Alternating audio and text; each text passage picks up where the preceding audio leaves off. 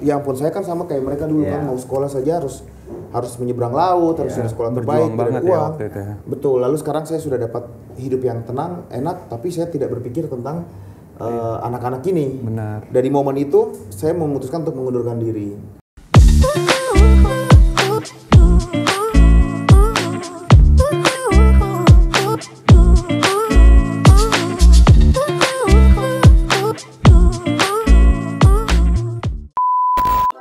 Welcome back to BNS Podcast Special Figure. Apa kabar BNS Squad? Senang rasanya Kak Andi bisa menyapa lagi dalam program kesayangan kalian, BNS Podcast Special Figure, di mana kita bakalan mengundang narasumber-narasumber yang pastinya akan berbagi inspirasi buat kalian yang sekarang lagi nonton.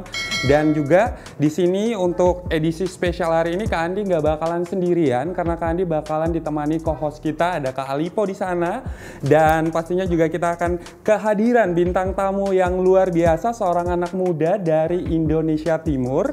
Beliau ini adalah founder dari Ketong Bisa dan juga sekarang lagi menjabat sebagai staf khusus presiden bidang inovasi, pendidikan dan daerah terluar. Siapa lagi kalau bukan Kak Billy Mamrasar. Kita berikan tepuk tangan dong. Luar biasa Kak Billy. Thank you so much sudah hadir di BNS Podcast Special Figure ini baru dari bandara langsung ke sini ya Kak Billy ya. Betul, Luar biasa. Ini sibuk tapi tetap memberikan waktu untuk bisa berbagi insight menarik dan juga pastinya kisah-kisah inspiratif dari Kak Billy. Nah Kak Billy, Kak Billy ini kan juga eh, kita tahu bahwa Kak Billy adalah lulusan dari beberapa university yang terkenal nih. Ada Oxford University, ada London University, bahkan sampai Harvard University, Kak. Tapi yang menarik, saya tuh paling senang sekali karena bisa uh, ngobrol dengan orang-orang yang memang uh, latar belakangnya ini bukan dari keluarga yang mampu, tapi secara background pendidikannya nih sukses nih Kak Billy.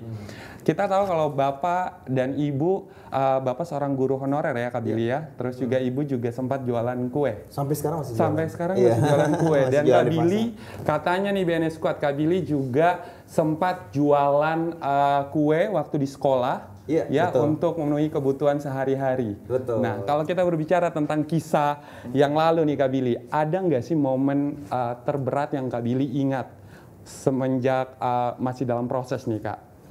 Banyak sih kalau momen terberat misalnya kalau mengerjakan tugas kuliah eh apa sekolah PR itu harus sebelum matahari terbenam karena di rumah tidak ada listrik.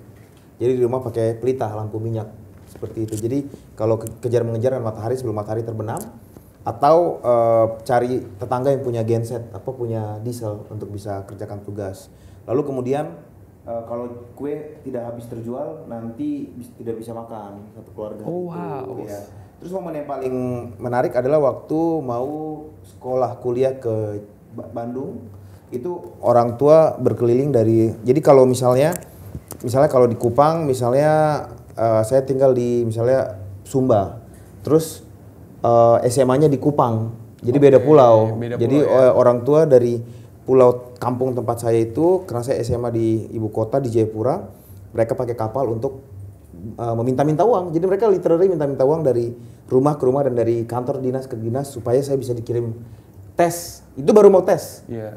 untuk sekolah. Effortnya se iya itu ya orang tua ya. itu. Iya jadi itu menarik sekali karena apa setelah saya dinyatakan lulus uh, tidak ada biaya untuk sekolah jadi mereka harus mengejar jumlah biaya waktu itu sebesar 5 juta untuk tiket pesawat sama untuk biaya awal saya hidup itu uh, deadline-nya sudah jam 12 siang waktu Indonesia Barat dan mereka masih mencari-cari uang jadi ada ada mujizat yang terjadi di menit terakhir 30 menit sebelum sebelum 30 menit sebelum Apa deadline itu tutup ada orang baik yang memberikan eh, uang utuh 5 juta ke 30 papa. menit terakhir sebelum akhirnya Sebelum deadline. habi- habis Iya. dead- masa deadline ya. Iya, sebelum deadline untuk membayarkan SPP awal Oke. waktu itu. Jadi itu 30 menit eh, sebelum apa? Sebelum deadline ditutup dan kira-kira 10 tahun kemudian saya eh, saya mendaftarkan diri magang ke Kemendikbud. Jadi flash forward itu kan flashback. Iya. Flash forward saya mendaftarkan diri untuk magang di Kemendikbud. Kemendikbud waktu itu saya sudah kerja di perusahaan swasta. Saya mendaftarkan di situ lalu bingung kementerian kenapa saya mau magang dan gratis nggak dibayar di situ. Saya bilang saya mau membantu salah satu staf ahli menteri yang ada di situ. Mereka Oke. bilang "Eh, kami di sini nggak ada menyediakan uang untuk bayar. Saya bilang saya tidak mencari uang, saya pengen berkontribusi karena waktu itu kon- kondisinya saya sudah kerja di perusahaan swasta dan gaji yang sangat besar. Nah setelah saya kerja pulang setelah saya kerja pulang kantor saya akan ke situ magang sampai setelah setahun saya magang di situ bantu si staf ahli menteri dia tanya kenapa kamu mau bantu di sini? Iya. Terus saya bilang bapak ingat gak 10 tahun yang lalu bapak kasih uang kepada orang random ada orang tua itu orang tua random yang datang Iya. bilang anaknya mau kuliah ke Bandung tapi tidak ada biaya terus bapak kasih keluar uang dari laci waktu itu bapak eh, ke- eh, apa kepala dinas gitu. dia bilang saya nggak ingat Dan Jadi- orang itu adalah Ya orang itu adalah yang yang saya bantu setelah setahun dia tahu saya bantu Oh, for free wow. untuk sebagai payback gitu sebagai Ah. contribute. Terus eh, bapak saya yang datang bapak saya bilang ini anak saya udah selesai dari ITB dia bantu bapak magang di sini for free itu alasan kenapa dia bantu. Jadi seperti itulah ceritanya. Iya, jadi memang di memang luar biasa ya dari daerah ya kalau kita bilang kan memang eh, pendidikan ini ya di Indonesia kan belum merata semua aksesnya ya kayak Betul. apalagi daerah-daerah Indonesia Timur. Tapi itu bukan menjadi satu alasan juga ya BNS Squad untuk kita tidak bisa berprestasi seperti layaknya Kabili gitu ya. Dari keterbatasan berangkat dari keluarga sederhana dan mungkin punya suka duka ya selama proses persiapan dan akhirnya sekarang bisa menjadi lulusan uh, dari kampus-kampus yang saya sendiri aja menginginkan. Kak Elipa menginginkan nggak sih sangat di Oxford, Harvard University, bahkan di London University. Ada lagi di mana kak? Di ANU Australian Oh, Australia University. juga. Tapi nggak sebenarnya kalau bisa dibilang sebenarnya eh, kalau orang bilang oh karena pintar sebenarnya tidak juga, tidak pintar juga tapi memang orangnya berani untuk eh, mengambil resiko dan berani maju terus. Oke. Contohnya waktu saya S1 di eh, sarjana saya itu IP saya cuma 2 koma.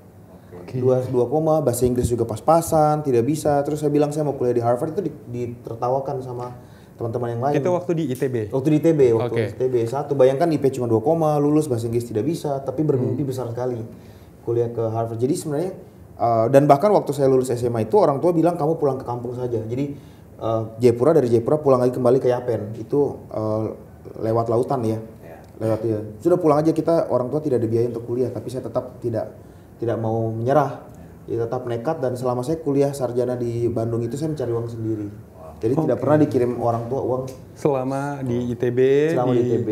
pros kuliah juga memang uh, cari uang juga ya. Iya. Waktu itu sempat kerja apa aja sih kak? Macam-macam ada jualan, jualan itu jual donat, terus eh, Buat jualan- sendiri. Enggak, ambil dari dari Oh, pabrik. oke. Saya tak saya dapat info ada pabrik yang yang murah, saya pakai motor. Ambil dari pabrik, dijual dengan harga pabrik tanpa saya mengeluarkan modal. Jadi saya bilang modal kepercayaan saja, saya ambil dulu, nanti laku saya kembalikan. Dan an- dan lucunya mereka percaya aja. Tapi saya me- menjaga kepercayaan itu. Iya. Jadi Iya. saya jual lalu em, apa main sama satpam. Jadi saya main sama semua orang siapa saja sehingga mereka banyak yang bantu. Tapi keuntungannya kan nggak seberapa dong tuh pasti kak. Eh, lumayan karena marginnya itu 100%. Oh, Jadi 100%, saya dapat wow. modal satu kotak 5.000 rupiah, saya dapat profit 50.000. Jadi 45.000 Oke. profit untuk satu kotak kan. Iyalah uang-uang proposal apa segala Iya. macam fotokopi dan lain sebagainya kan Iya. masih bisa di take over ya. Tapi malamnya nyanyi di cafe, nyanyi di wedding on the weekend. Oh ini ya bener juga, Kayak gitu. Kak Billy ini Jadi- bisa nyanyi loh, suaranya bagus loh. Ini sebentar kita kasih Jadi- challenge yuk, Kak jadi Billy apa? nyanyi. jadi semua yang bisa dilakukan untuk mendapatkan uang itu saya lakukan yang penting bisa kuliah. Ya. Dan IP saya itu 1,5 semester 1 hampir drop out. Sudah hampir drop out, teman-teman bilang. Karena sibuk kerja, atau cari Jadi ada tiga alasan kenapa IP saya rendah. Pertama adalah alasan psikologi karena saya merasa tidak percaya diri.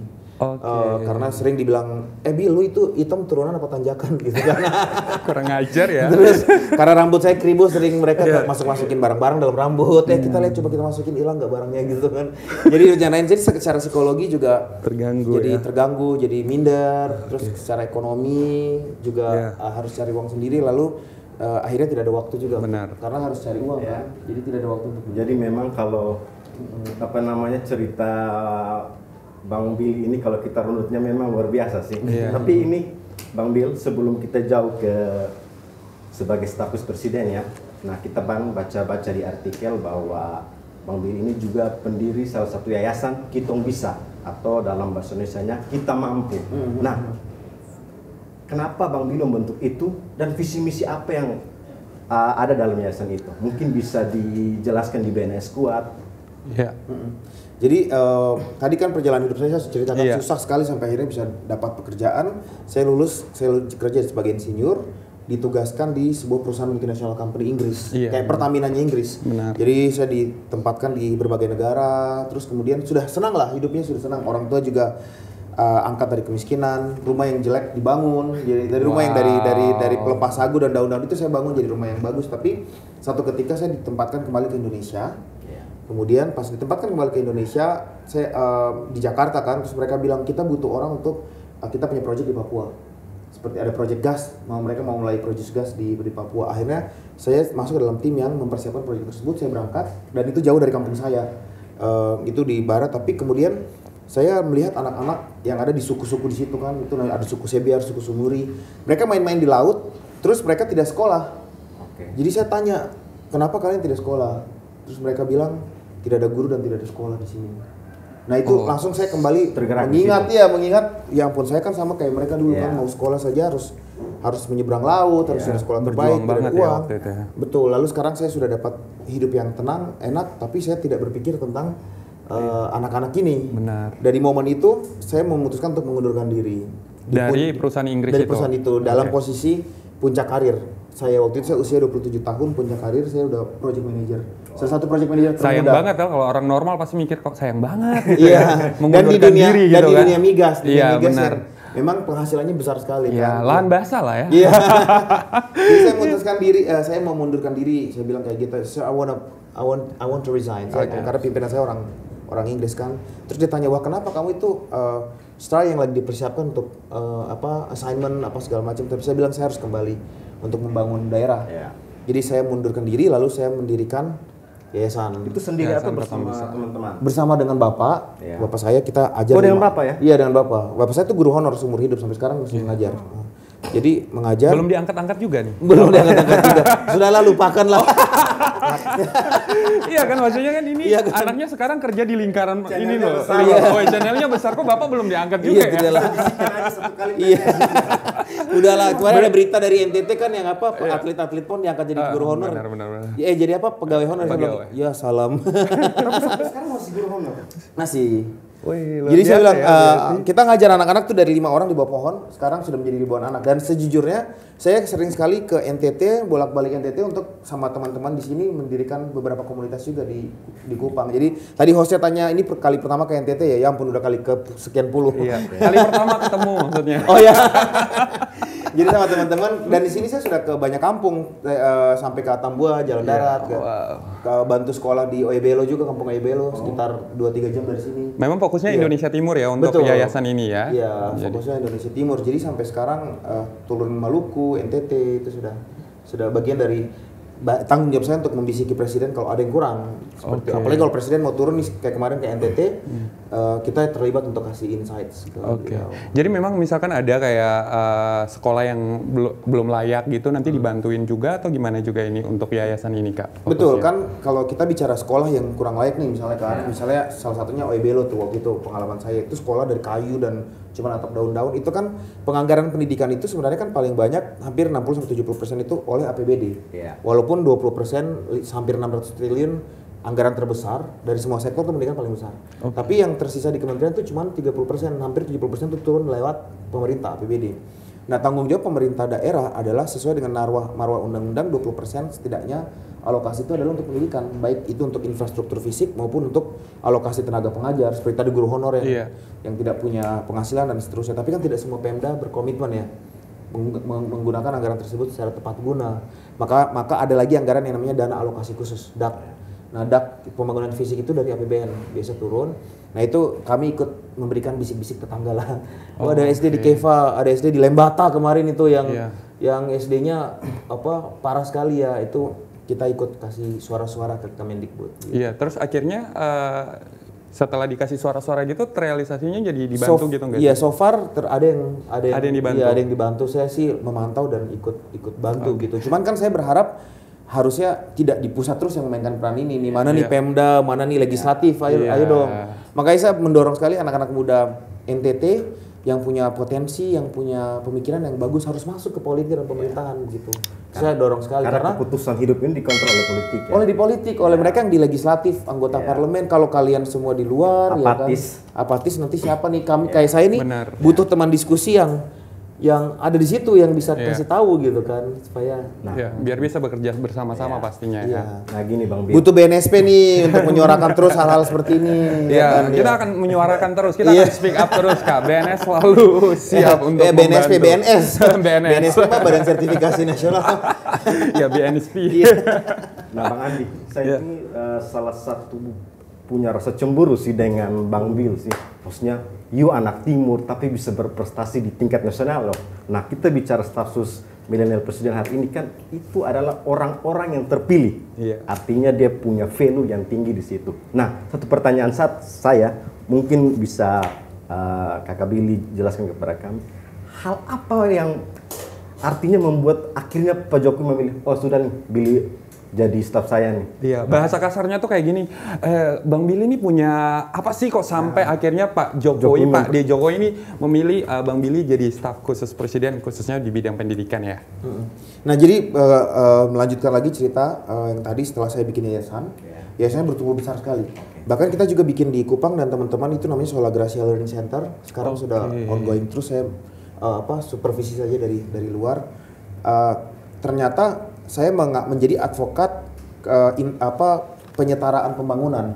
Jadi saya terus mengadvokasi itu baik di nasional maupun internasional seperti itu. Jadi saya memprotes apabila ada kayak kemarin tuh beberapa tulisan saya cukup viral termasuk yang terakhir juga tentang eh, apa anak NTT yang akhirnya menang olimpiade tapi kemudian tidak tidak tidak diperhatikan. Misalnya Betul, betul. saya sering menjadi advokat. Selalu speak up iya ya, speak up. Dan hal-hal itu yang isu-isu yang itu. saya angkat itu selalu dari Indonesia Timur dari Maluku Maluku Utara NTT itu saya angkat terus. Karena tidak ada yang fokus ke situ.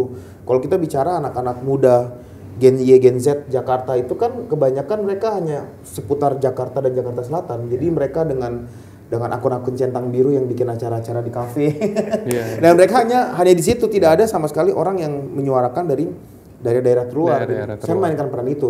Saya seru- selalu tulis dan dengan kemampuan uh, bahasa Inggris saya saya bikin juga artikel internasional. Akhirnya. Dan itu akhirnya saya Akhirnya ternotis. Ternotis. Jadi saya Oke. dipanggil magang di Gedung Putih pernah 2015 di Amerika Serikat. Saya pernah diundang bicara di PBB 2017. Saya pernah magang di penerima hadiah Nobel eh, Muhammad Yunus di Grameen Bank di Bangladesh untuk belajar bagaimana mereka membantu kelompok-kelompok yang terluar, daerah-daerah terluar dan dari itu semua mungkin yang membuat ternotis sama presiden. Jadi presiden mungkin membaca track record dan rekam jejaknya. Hmm. Beliau menelepon eh, saya waktu saya lagi di Inggris dan meminta untuk untuk pulang eh, untuk Ke Indonesia. status. Ya, dan itu saya butuh waktu satu minggu untuk menjawab ya atau tidak.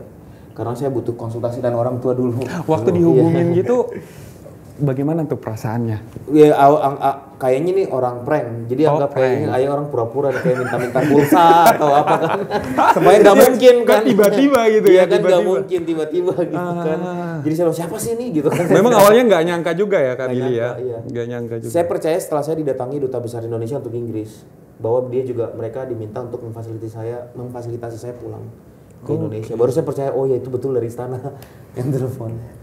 Wow, menarik ya. Jadi ini memang buat BNS Squad ya yang lagi memperjuangkan apa pun itu ya, baik itu mungkin di bidang pendidikan, juga mungkin di ekonomi kreatif, ya terus speak up aja. Kali-kali nanti one day ternotis gitu kan, jadi staf staf khusus presiden lagi. Iya, jadi mungkin itu luar biasa lah ya. Iya. Tapi itu memang semua juga berangkat dari tekun ya. Iya, memang konsistensi. dia konsisten dengan bidang yang dia Benar. eh, apa namanya minati sehingga memang sampai berdiri di hari ini sebagai staf susni memang luar biasa dari merudat perjalanan-perjalanan Bang Billy ya. nah sejauh ini eh, khususnya Indonesia Timur ya kan kalau kita bicara Bang Billy ya artinya salah satu kebanggaan kami lah. Artinya staf yang berada di sana. Nah sudah ada inovasi-inovasi apa yang eh, Bang Billy lakukan di Indonesia Timur ini? Yang sudah dan yang yang apa mimpi yang belum Pak Billy lakukan? Iya. Jadi yang sudah dikerjain nih Bang Billy terus juga yang sedang dipersiapkan dan mungkin ke depannya mimpi-mimpi Iya. atau impian yang belum Yang belum terwujud terrealisasi. apa sih? Iya.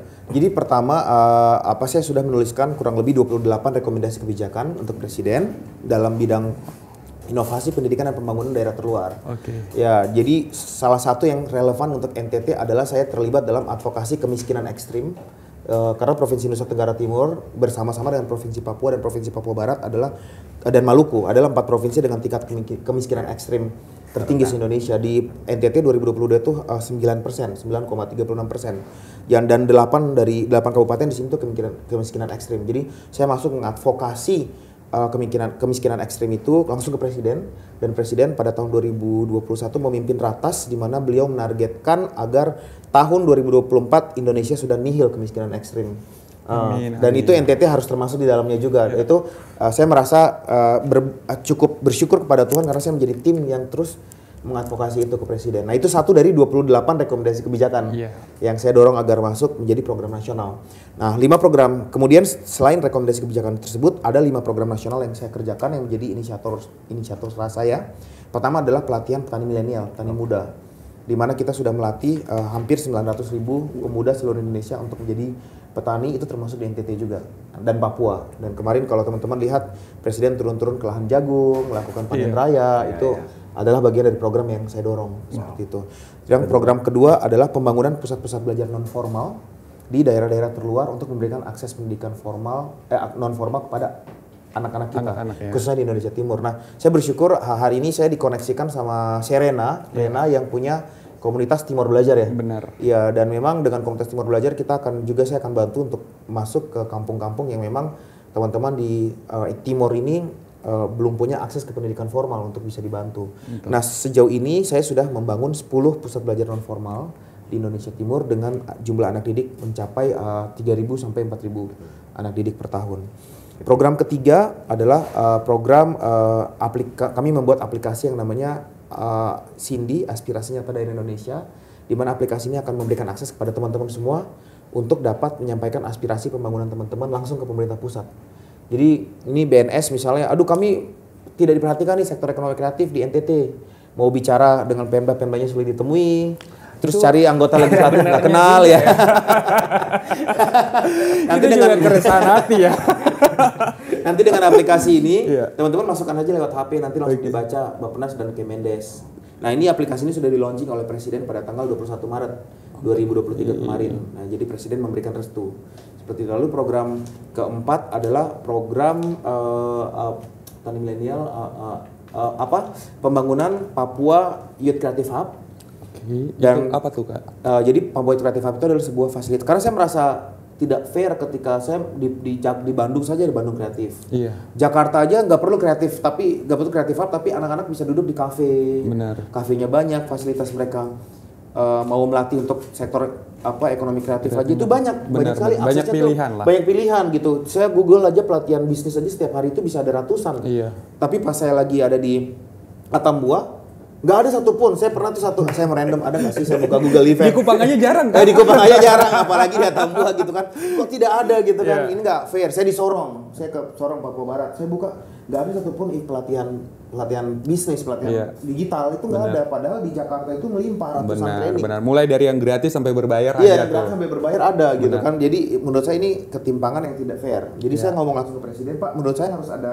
hub yang dibangun untuk memfasilitasi anak-anak ini supaya mereka bisa mengakses training. Aku setuju sih Iya, itu. mengakses permodalan dan thanks God di tahun 2019 ketika saya pitching, presiden memberikan uh, approval dan uh, uang sebesar 102 miliar uh, kerjasama antar antar uh, kementerian lembaga di mana ada BIN, ada Kementerian Ekonomi Kreatif, Pariwisata Iya. dan Pemda uh, membangun fasilitas Papua Creative Hub yang diresmikan oleh presiden kemarin Oke. dan kita sudah melatih 12.840 orang sejauh Ya. ini. Di mana kemarin pada bulan Maret eh, kemarin eh sorry Juni kemarin presiden turun ada desainer-desainer Papua, model-model iya. Papua yang mereka Udah- udah tampil, mulai tampil, ya, di kan? depan presiden. Iya. Dan, Dan- pada pidato presiden itu presiden memberikan perintah untuk dibangun NTT Creative Hub dan Maluku Creative Hub. Dan mudah-mudahan ya kita menantikan NTT Kreatif Hub Iya, ya.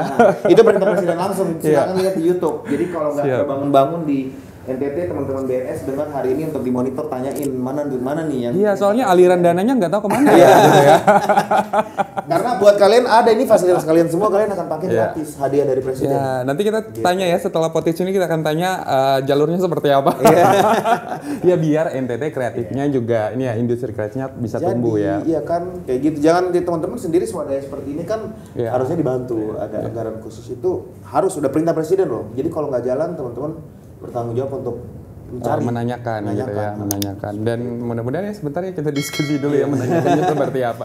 penasaran sih sebenarnya ini sebenarnya pertanyaan pribadi ya kan. Gimana sih uh, lingkungan kerja dengan Pak D Jokowi ini kan sebentar lagi Pak D sudah selesai masa jabatannya nih Kak Billy. Bisa nggak sih uh, ceritain ke kita seperti apa sih lingkungan kerja bersama dengan Bapak Jokowi? Harus gimana gitu, harus seperti apa gitu. Iya.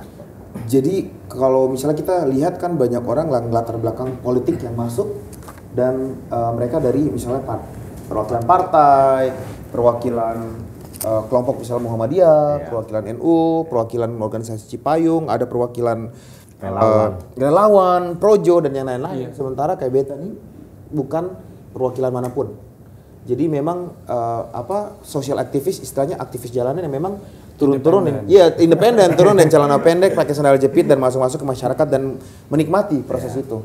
Ketika kemudian diminta bergabung dengan pemerintah dan tidak punya tribe, tidak punya latar, tidak punya apa kelompok atau tidak punya ini kan rawan terhadap serangan politik. Iya.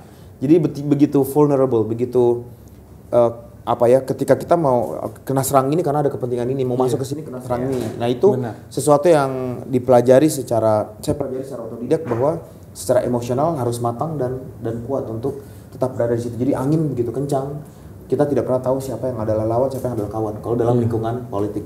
Oke. Tapi kita harus tetap stick kepada visi misi kita mau maju ini mau bikin perubahan apa.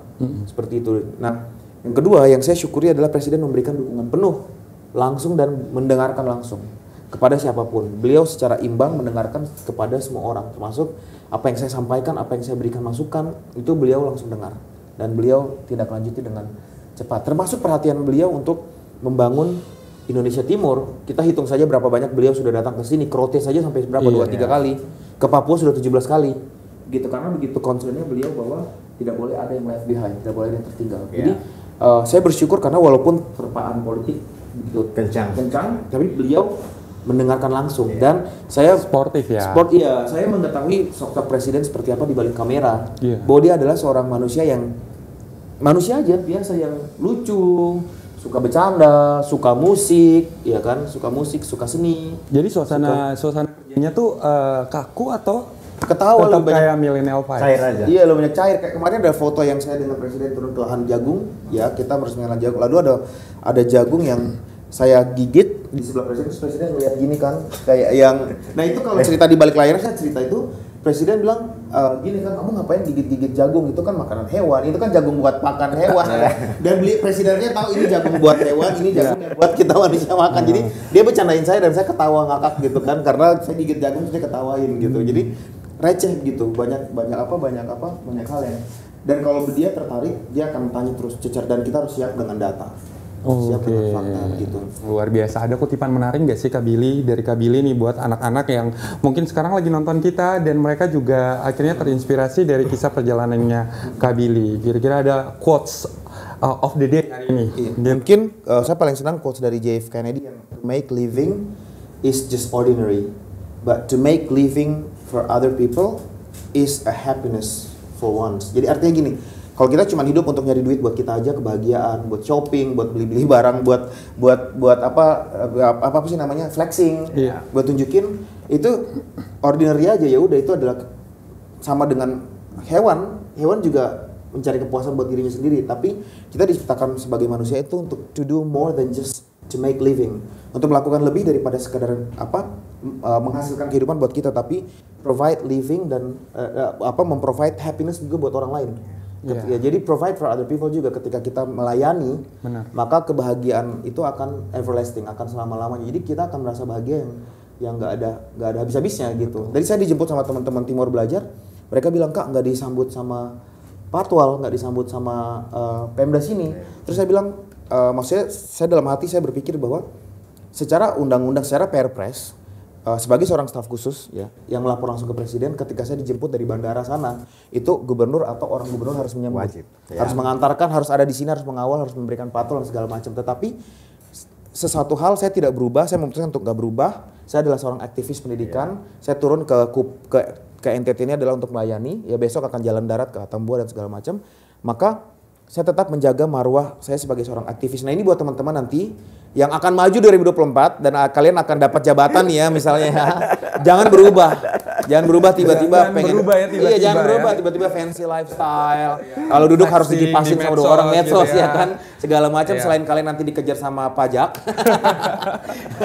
atau dicecer sama netizen apalagi kalau bukan selebgram kan kalau se- Selebgram masih bareng endorsement gitu ya. Tapi kan kalau politisi kan nggak bukan bareng endorsement lagi Oh enggaknya, iya. Tapi saran saya, peran saya adalah NTT bisa berubah kalau teman-teman NTT yang nanti dapat dipercayakan Tuhan dapat jabatan lebih jangan berubah, tetap having a humble life, Iya. having a simple Setuju. humble life. Karena memang kita tercipta untuk punya hidup yang sederhana aja sebenarnya. Apa sih yang mau dicari gitu kan? Benar. Hidup harus jadi berkat ya bang. Iya betul. Wow, luar biasa sekali nih Kak Billy. Beliau ini menarik secara pemikiran, ide-idenya, semangatnya. Cuman gini Bang Bill, mungkin satu pertanyaan buat Bang Bill menutup eh, sebelum menutup ke eh, segmen kita ini. Nah, eh, ketika nantinya masa Bang Bill ini jabatan sampai 2024. Nah, ketika dengan bergantinya pemerintahan Jokowi dengan ber- berakhirnya masa jabatan Bang Bill, apakah Bang Bill masih seperti semangat seperti hari ini? Masih gerilya betul-betul? Ya teman-teman tim tim terdekat saya yang kerja dengan saya kami namakan tim kami itu baper. Tim baper. Eh, kami ada 134 orang tapi bukan bawa perasaan, bawa perubahan. Jadi karena kita mau turun dan bawa perubahan ke mana-mana kita pergi. Nah tim, saya itu tahu sekali bagaimana ups and down-nya saya. Gitu kan bagaimana keselnya saya ketika saya melihat korupsi di depan mata dan gak bisa melakukan apa-apa. Keselnya saya ketika saya melihat pejabat yang flexing yang yang dan itu terjadi di depan mata gitu kan atau arogansi kepala daerah di mana provinsinya dia saja masih miskin tapi kepala daerahnya arogan sekali dan itu head to head dengan kita itu kan dalam hati saya kayak kesel dan apakah saya akan terus ada di dunia politik atau enggak itu membuat saya be- be- betul-betul mempertimbangkan segala sesuatunya sekarang. Saat ini juga beberapa capres yang akan maju juga udah mendekat ba- baca wapres, ayo Bang Billy gabung bantu tim kita segala macam. Tapi saya masih terus mempertimbangkan siapakah saya. Jadi continuous question, pertanyaan berkelanjutan tentang siapa kita itu menunjukkan kenormalan kita untuk selalu menjadi manusia yang lebih baik. Jadi setiap hari teman-teman harus berpikir di depan kaca bangun pagi siapakah saya? Ya. Apa yang mau saya lakukan hari ini untuk membuat saya lebih baik dari kemarin? Itu yang sedang terjadi menjadi apa menjadi apa konstelasi berpikir saya setiap hari. Siapakah saya di 2024? Dan saya yakin Tuhan akan kasih tahu saya akan ngapain 2024. Kalau emang saya dikasih tanggung jawab yang besar, saya akan dikasih tanggung jawab yang besar. Tapi ada beban dari nama yang diberikan orang tua saya ke saya. Gracia, Josafat, Jobel, Membrasar. Gracia kata orang tua saya adalah anugerah. Josafat adalah pahlawan di Alkitab yang ingin membawa keadilan dan perubahan. Ya. Jobel adalah kebebasan, jubelium. Artinya kebebasan dari kemiskinan, kebebasan dari kebodohan, itu yang harus menjadi uh, beban saya untuk saya lakukan. Jadi art- artinya orang tua kita nih kasih nama jadi beban, ya kan? Padahal kita mau shopping-shopping aja di mall, ya kan? Mau ini kan penghasilan besar kan, mau beli barang mahal, mau makan, mau ini, tapi nggak bisa ini be- berat di nama, kayak gitu. Jadi akhirnya membuat saya ber- saya berpikir bahwa 2024 apa pun nanti peran yang saya mainkan, saya hanya akan melakukan uh, pelayanan buat masyarakat sih Iya, tapi tetap berfokus kepada pendidikan juga pasti. kepada pendidikan dan pembangunan SDM gitu. Dan Timur Indonesia. Dan Timur Indonesia, nah satu hal tentang NTT, saya tuh optimis NTT akan jauh lebih. Kalau di Papua, kemarin 12.840 anak muda dilatih, saya yakin NTT akan jauh lebih daripada itu. Kenapa? Karena bagi saya dari pengalaman saya berkeliling ke Indonesia Timur, NTT ini adalah provinsi yang menghasilkan orang-orang paling kreatif.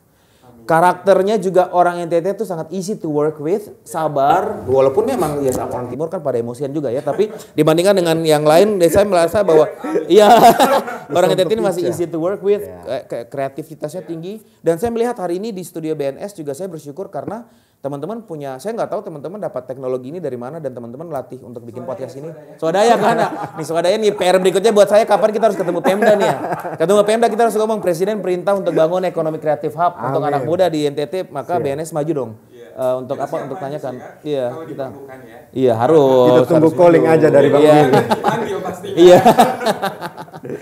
Siap, iya. Jadi memang luar biasa sekali Kak Billy. Iya. Thank you so much karena sudah bisa hadir di BNS Podcast Special Figure dan pastinya teman-teman BNS Squad yang lagi nonton juga uh, mendapatkan banyak insight menarik dan juga banyak kisah-kisah yang luar biasa yang bisa dijadikan inspirasi buat kamu agar tidak mau menyerah dan jangan pernah berhenti bermimpi ya Kak Billy Iya, ya. betul. Dan mungkin ada pesan terakhir nggak buat teman-teman yang uh, lagi nonton Kak Billy? Untuk Buat mereka Squad di mana saja. uh, ayolah kita dari timur Indonesia, kita putra putri daerah juga dan kita nggak boleh kalah saing gitu loh. Mungkin uh, Iya. bisa Kak Billy silakan. Oke, jadi buat teman-teman uh, NTT yang hari ini mendengarkan uh, podcast hari ini uh, bahwa uh, perkembangan kemajuan daerah kita ini eh, bergantung kepada kita.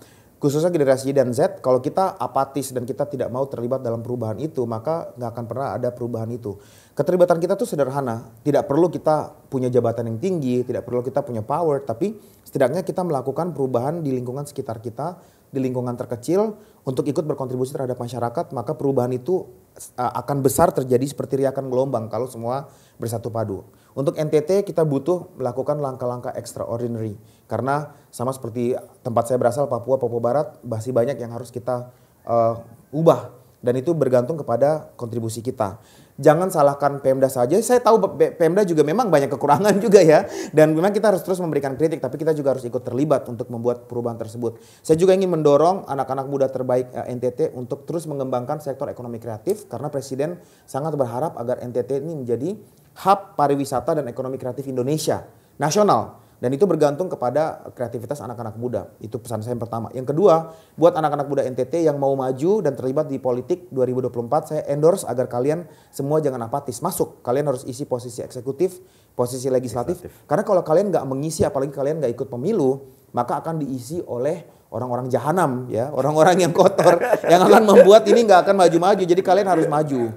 Dan pesan saya yang terakhir untuk BNS, kalian keren. Ini per, per, saya cuma mendengar dari jauh saya mendengar dari jauh aja tentang kalian dan hari ini saya bisa ada di studio. I feel honored. Saya merasa sangat sangat dihargai bahwa saya diundang ke studio ini dan uh, tolong uh, terus majukan uh, apa ekonomi kreatif anak muda Indonesia.